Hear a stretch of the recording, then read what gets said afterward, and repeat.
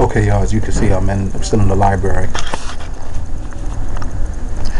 And, um, taking Erykah Badu's advice, I got me a window seat. Ain't nobody fucking me up my ass. But anyway, I found a nice book here. And, um, just want to let you know that it takes um, you through history uh, for a lot of the female um, entertainers. It's a really nice book here. It's called Hip Hop Divas.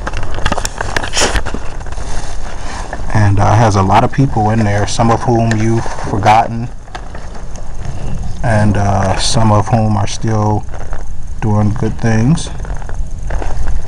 Let's see here. It's pretty nice. Uh, got some good information there. Got my girl Yo Yo still in there.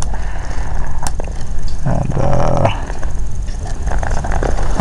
just uh, a lot of people that you haven't seen in a while. So if you're over here and you want something to do, nice book for you to check out, okay? I'll let y'all later.